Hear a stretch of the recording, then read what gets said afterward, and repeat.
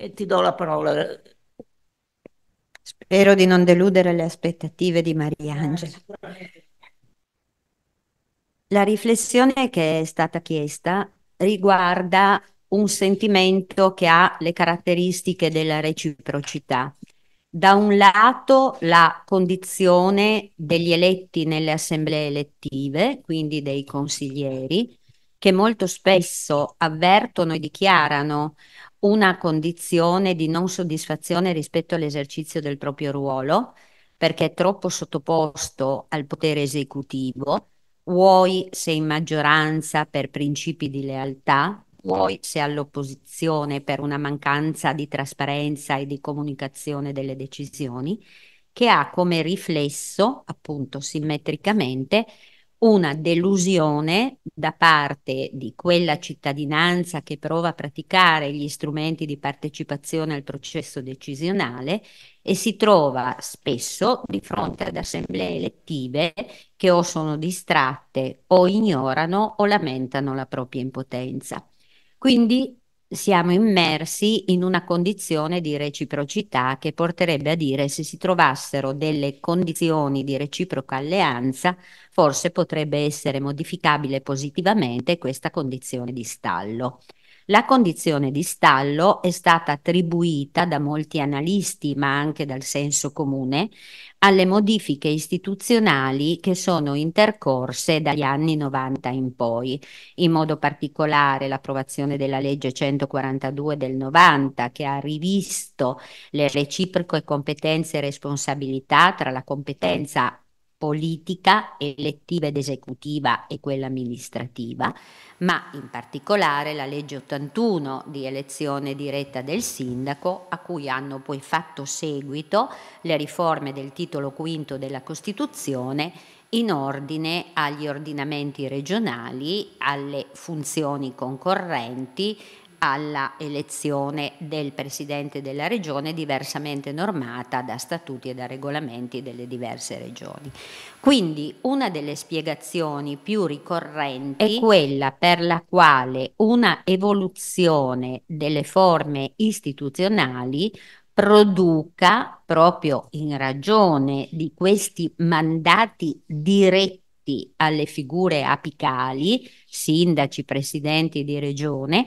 produca una involuzione della democrazia rappresentativa. Questa è una delle spiegazioni più ricorrenti ed è una spiegazione di cui in parte ci si condivide la responsabilità, nel senso che la scelta di anteporre la capacità di semplificazione e di riconduzione ad unum del processo decisionale è stata realizzata con la motivazione non del ce lo chiede l'Europa, ma ce lo chiedono i cittadini. I cittadini e le cittadine vogliono governabilità, vogliono continuità, vogliono sveltezza nelle procedure, vogliono chiarezza nell'individuazione di chi ha assunto le decisioni e quindi le funzioni esecutive diventano funzioni prevalenti. Sembrerebbe quindi, sempre secondo questa spiegazione, che eh, eh, si sia sacrificato il principio della rappresentanza in capo alle assemblee elettive in virtù del principio della governabilità. Questa è sicuramente una spiegazione che ha delle buone ragioni e delle buone motivazioni, soprattutto se i comportamenti soggettivi dei sindaci, dei presidenti di regione o delle loro maggioranze sono dei comportamenti eccessivamente assertivi, per cui sembra quasi che si sia di fronte a un nuovo cesarismo piuttosto che a una condizione di impegno e responsabilità sull'esercizio delle funzioni esecutive ma almeno nella analisi che propongo non è l'elemento capace di spiegare complessivamente la difficoltà dalla quale siamo partiti e nella quale siamo immersi. Anche perché, per onestà intellettuale, bisognerebbe dire che non solo le esperienze individuali, ma anche la letteratura in materia ci riporta, ben prima delle riforme istituzionali di cui ho detto, un quadro di sofferenza delle assemblee elettive impegnate e travolte ai voti su qualunque decisione, dalla più minuta dell'approvvigionamento delle risorse materiali dell'ente alla più impegnativa sulle funzioni di programmazione, travolti appunto al punto tale da non realizzare più alcuna fisionomia rispetto alla caratterizzazione politica. Si diceva in allora la insostenibile leggerezza delle assemblee elettive. Da questo punto di vista, quindi, gli elementi che oggi connotano le funzioni e i ruoli tra gli eletti nelle istituzioni in termini di assemblee consigliari e le potestà di carattere esecutivo del, del primo cittadino, del presidente della regione e delle giunte sta in una dicotomia che viene riassunta e sembrerebbe poter funzionare come i meccanismi di un orologio quest in questa modalità. Consigli spettano i ruoli di indirizzo e di controlli al sindaco e alla sua funzione esecutiva intesa come collaboratori della giunta, competono le funzioni di proposta verso il Consiglio e compete l'attivazione e l'esecuzione delle decisioni prese. Il che sembrerebbe esattamente una distinzione di ruoli comprensibile, spiegabile, anche ordinatamente volta alla sorveglianza dei processi decisionali e alla possibilità di modificarli.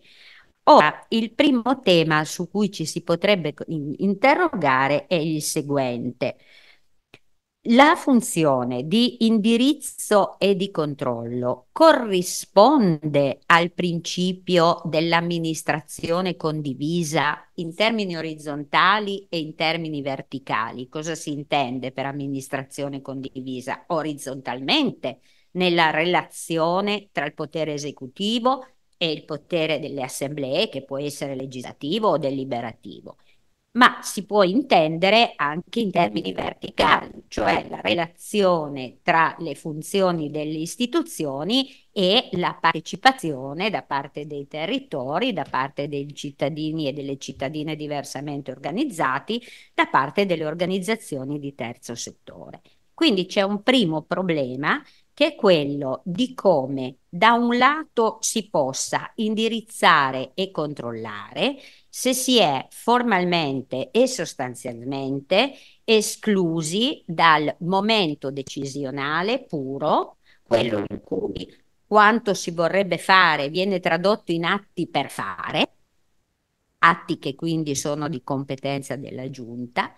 e se questo, partecipare sul cosa fare, ma non sul fare, consenta alle consigliere e ai consiglieri di avere elementi di conoscenza e di competenza tali da poter poi valutare e quindi esercitare quella famosa funzione di controllo.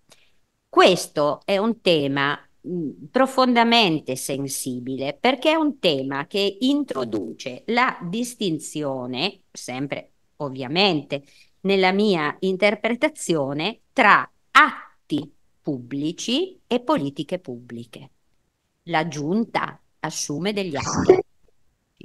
i consigli assumono degli atti pubblici, ma non è la sequenza di quegli atti che costruisce una politica pubblica. Quindi alle consigliere e ai consiglieri non può essere sufficiente la conoscenza dei singoli atti che vengono assunti, perché la conoscenza dei singoli atti non costruisce l'idea della politica pubblica. Prendiamo un esempio. Se un consigliere esercita una funzione di giudizio, di voto, di indirizzo sulla determinazione della politica delle tariffe, ed è una competenza delle assemblee,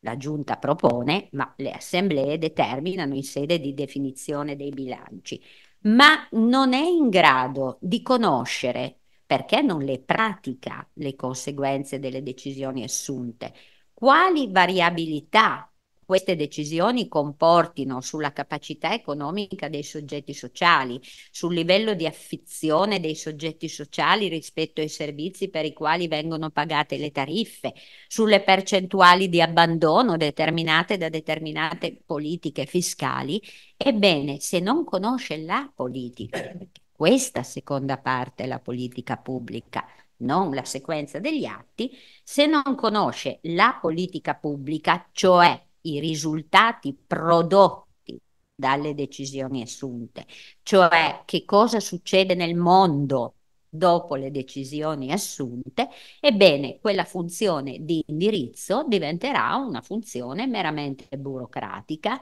esercitata nell'arena delle relazioni tra maggioranza e minoranza e non sarà invece l'esercizio di una funzione reale di rappresentanza, di rappresentanza degli interessi per i quali si è stati eletti, cioè gli interessi della popolazione diffusa.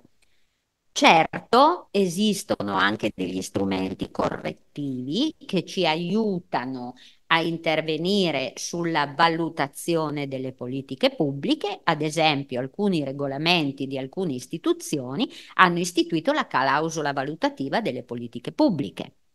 che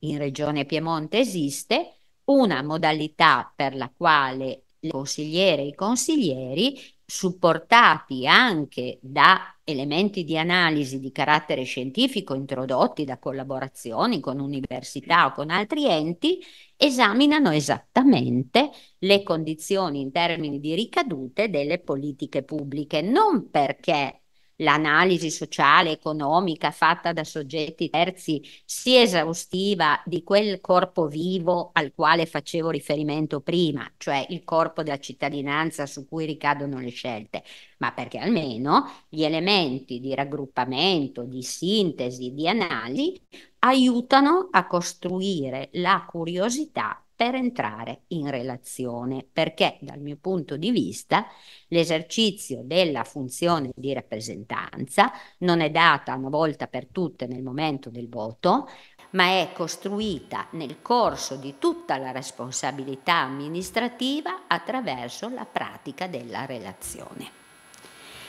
Ora, dire questo è più complicato che non dire mettiamo mano in un altro modo ai figurini istituzionali con altre riforme istituzionali per colmare quel difetto di origine di cui, da cui siamo partiti. Perché l'esercizio di correggere credendo che la soluzione istituzionale di riscrittura, di riforma possa risolvere il problema di questa caduta di questa involuzione democratica è un'illusione o una furbizia a cui la politica molto spesso si concede. Basta vedere che adesso, in ragione delle situazioni di astensione alla partecipazione elettorale, si ragiona se valga o non valga mantenere il ballettaggio al secondo turno. Quindi, con l'illusione perpetua che si possa risolvere un problema che è della democrazia e della relazione, la relazione con la politica, attraverso il cambiamento dei meccanismi istituzionali. È pur vero che è molto più difficile curare la relazione e costruire ragionevoli forme di rappresentanza in un'epoca come questa,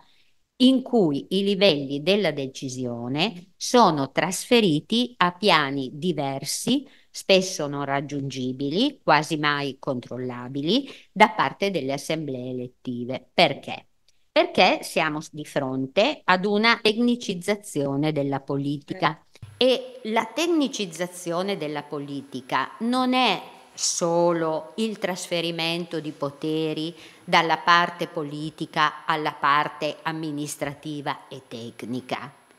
ma è il fatto che le condizioni generali in cui si trovano ad agire le istituzioni hanno prodotto, producono e produrranno dei livelli decisionali che fungono totalmente e la partecipazione dal basso e la partecipazione delle assemblee elettive. Facciamo degli esempi concreti. Un esempio concreto, ad esempio, è la predominanza dei temi economici e la traduzione dei temi economici anche dal punto di vista di flussi finanziari attraverso meccanismi di finanziamento che arrivano ad esempio dal livello europeo e che necessariamente negoziano non con la rappresentanza di un paese o di un territorio, ma negoziano con la, il potere esecutivo di quel territorio. Pensate ad esempio al ruolo della conferenza Stato-Regioni, che è un ruolo assolutamente essenziale per le ricadute che ha sulla vita reale e sul corpo che respira e che pensa della cittadinanza, discutere il riparto del Fondo Sanitario Nazionale tra le regioni e cosa c'è di più coinvolgente e di più pubblico in termini di politica pubblica che non capire come possono essere destinate le risorse che arrivano alla tutela della salute, eppure quello è un luogo che è esattamente l'opposto della condivisione, della partecipazione, perché è il luogo della negoziazione tra un governo centrale e i, i governi delle regioni, nemmeno delle autonomie locali, oppure altri livelli dove il sistema di progettazione si colloca ai vertici istituzionali regioni, autonomie locali, pensiamo a tutti gli accordi di programma in ottica urbanistica, dove l'assemblea elettiva non determina la facoltà dell'accordo, che è sottoscritto dal primo cittadino, ma prende atto dell'accordo stesso, quindi eh, nemmeno potendo esercitare un potere di carattere emendativo. Quindi ci sono sicuramente eh, in virtù del trasferimento delle decisioni in sede comunitaria, in virtù delle modalità con le quali si muovono i flussi finanziari verso le istituzioni, delle modalità di costruzione del processo decisionale che stanno fuori dalla possibilità di un controllo, se non di tipo formale, da parte delle assemblee elettive. Quindi l'aspetto per il quale chi è stato eletto dovrebbe interrogarsi su come esercitare il proprio ruolo, come si comprende dalla complessità che ho cercato di definire, è sicuramente un processo di grande difficoltà che prende atto di essere formalmente spunti da alcuni modelli e momenti decisionali. Tuttavia, se vogliamo riportare appunto la realtà vivente per la quale si è rappresentanti della propria comunità all'interno del modo d'essere delle consigliere e dei consiglieri nelle assemblee elette, ci sono alcune questioni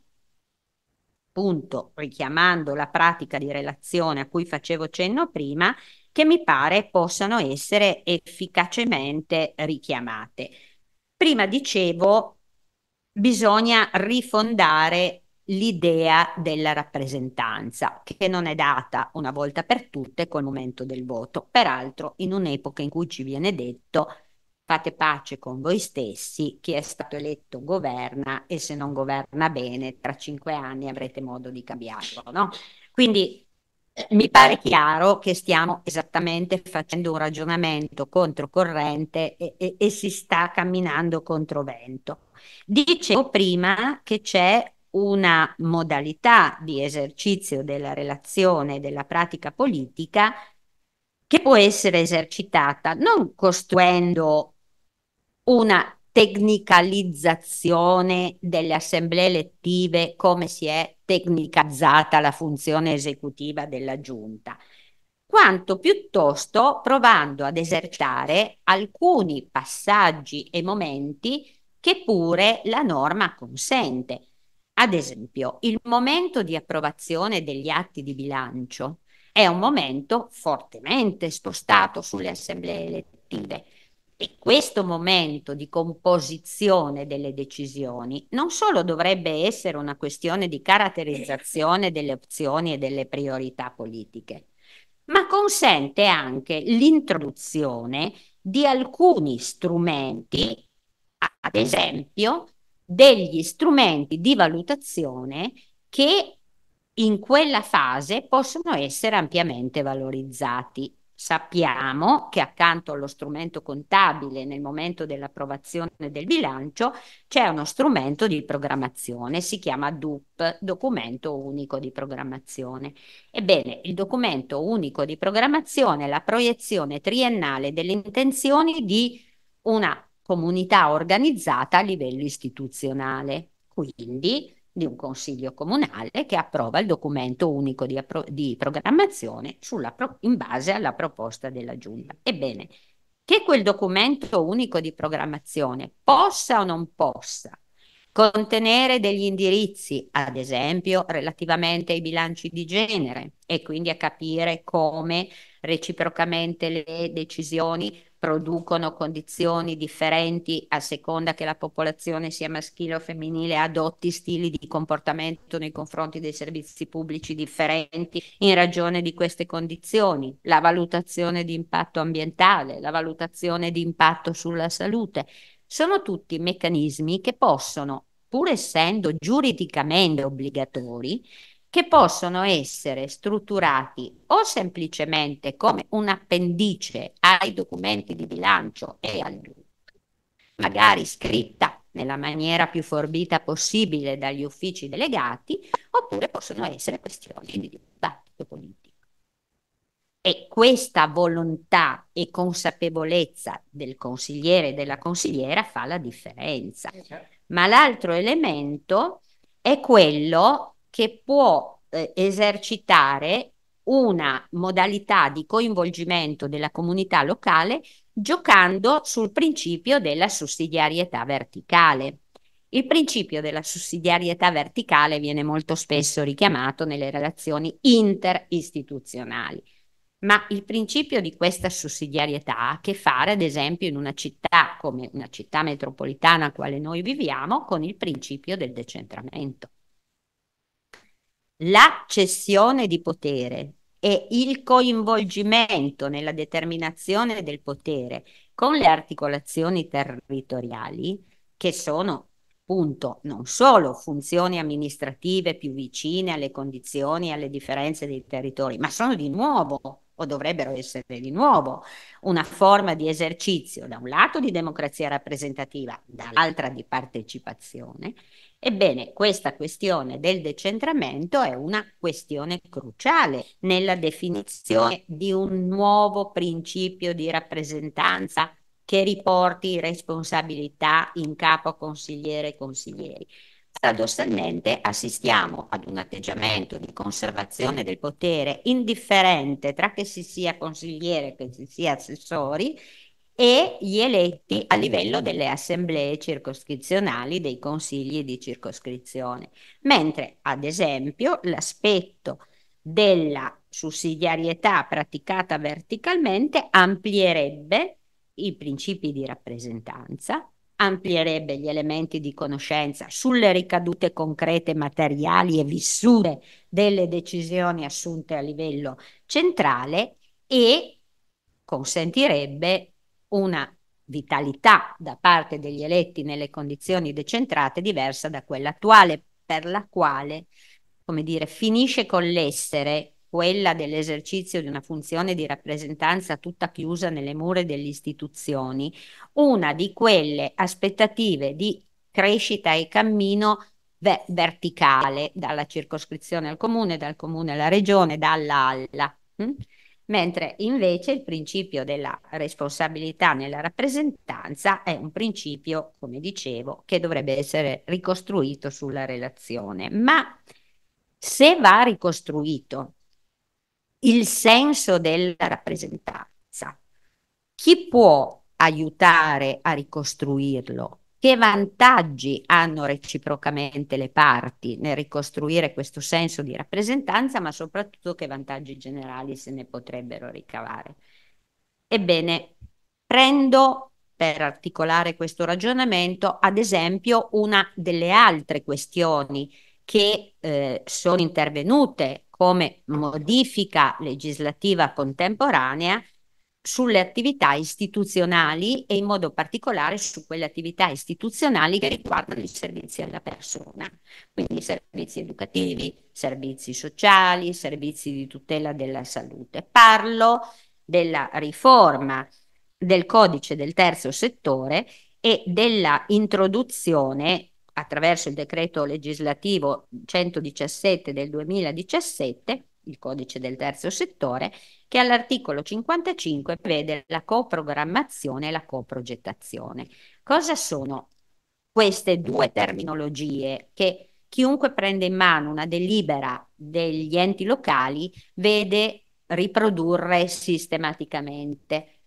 In realtà sembrerebbe il sacrosanto e condiviso principio dell'amministrazione condivisa. Quali sono i soggetti che costruiscono in una comunità e non perché siano stati eletti attraverso i meccanismi elettorali, ma perché assumono autonomamente, volontariamente una responsabilità di interesse generale, si occupano di condizioni particolari della popolazione o di momenti particolari di organizzazione della vita collettiva? Sono i soggetti del terzo settore, gli enti di promozione sociale, le cooperative sociali, il volontariato, la il protezione civile. Ebbene, la normativa consente oggi di eh, costruire delle attività di indirizzo su macro tematiche che riguardano queste sfere attraverso il meccanismo della coprogrammazione il che vuol dire io ente locale non guardo a questa realtà come a una realtà esecutiva ancillare a cui affidare attraverso bandi e appalti l'esercizio di alcuni servizi o di alcune funzioni, ma proprio perché siete organizzazioni di rappresentanza diverse da quelle elettive, costruisco con voi che vivete esperienze concrete di partecipazione, costruisco con voi la definizione degli indirizzi e quindi delle priorità. Allora già qui c'è un primo tema. Costruisco con voi chi? Il sindaco e l'assessore.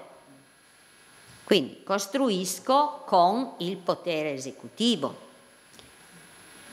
Ed è curioso che le assemblee elettive non si pongano su questo tema che è come dire sostanziale della definizione dell'identità di un territorio per la definizione delle priorità politiche sulle quali intervenire, non si pongano il tema del loro coinvolgimento e assumono come un dato di fatto il secondo passaggio che deriva dalla coprogrammazione, che è quello della coprogettazione cioè insieme quel che sarebbe desiderabile fare, ma anche insieme ciò che deve essere fatto. E quindi attraverso una modalità di avviso e di chiamata pubblica anche la definizione dei soggetti attuatori. Ora, questa modalità è una modalità che costruisce dal mio punto di vista, una relazione che può essere preziosa rispetto alla crescita civile di un territorio, ma che altrettanto espropria l'assemblea elettiva di una parte delle proprie funzioni di rappresentanza, se quell'assemblea elettiva non avverte un rigurgito di funzione e un rigurgito di responsabilità per provare ad introdursi dentro agli strumenti della programmazione e della progettazione, non in modo surrettizio, togliendo spazio e potere a chi per norma invece ha avuto questa investitura, ma in modo sostanziale, perché c'è una questione fondamentale, che eh, se si vuole lavorare per la rappresentanza di un territorio e si vuole riconoscere che quella non è data una volta per tutte dal momento elettorale, ma è un processo in mutamento, allora da questo punto di vista bisogna anche essere consapevoli che il governo tende a misurarsi con le forme più strutturate della partecipazione e con le forme più organizzate dell'espressione degli interessi. Quindi la relazione con il governo in sé non è in automatico perché avviene attraverso un processo democratico o un processo trasparente, un vero e proprio momento di riconoscimento degli interessi che si muovono nell'ambito sociale, proprio perché gli interessi più affermati tendono ad accreditarsi nei confronti dei soggetti che governano. E invece il cambiamento sociale nasce proprio dalla partecipazione dei soggetti che sono meno garantiti nella relazione con il potere e quindi nasce proprio dalla capacità di quei livelli istituzionali che agiscono nei consigli e nelle assemblee di cogliere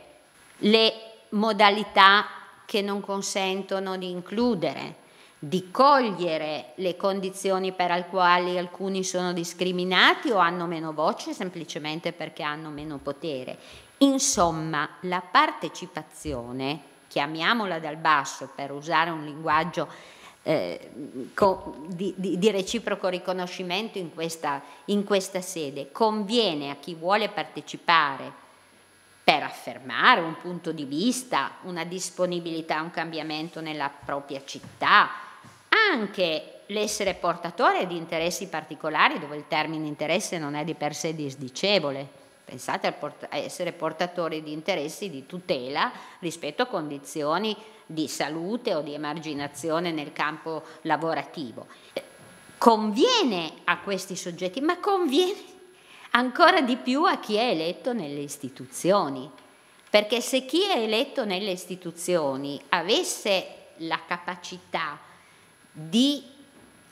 Arrivare. essere credibile in modo tale che chi partecipa non salga solo sempre i gradini dello scalone monumentale che portano all'ufficio del sindaco, ma salga anche i gradini che portano agli uffici delle formazioni politiche che compongono l'assemblea elettiva, allora quella funzione di rappresentanza si riempirebbe di vita vera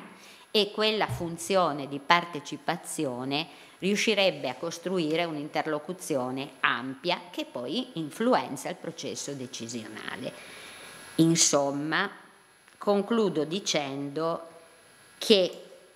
la crisi della democrazia rappresentativa è certamente in parte riconducibile a meccanismi di riforme istituzionali, ma è fondamentalmente una crisi della politica. E parlare oggi, con la disaffezione che c'è alla politica, di ricostruzione della partecipazione politica e quindi di riscoperta del senso di sé delle assemblee elettive, sembra veramente andare contromano in una società che va in tutt'altra direzione. Però Mariangela Rosolen ci crede, volere la luna ci crede, voi che siete qui stasera ci, ci credete e io intanto vi ringrazio di avermi ascoltato. Oh,